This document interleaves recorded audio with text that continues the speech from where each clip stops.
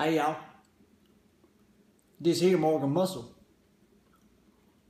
Just gonna talk to you real quick about a few tips. Now, some of you scared to eat red meat, but that's a bunch of bull.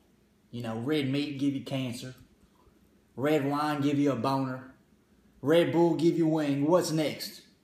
Dad bod gonna get you laid? Psh, stupid. What you need to do, start lifting some heavy ass things. Get off the damn treadmill, because it don't work. So, wake up, drink your coffee, take a cool ass picture of it, eat some red meat, lift some weight. You might just gain some muscle, you skinny ass. Alright? See you next time.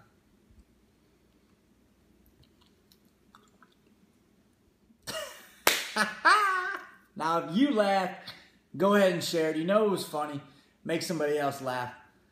Be sure to train. We got muscle to make. Let's go.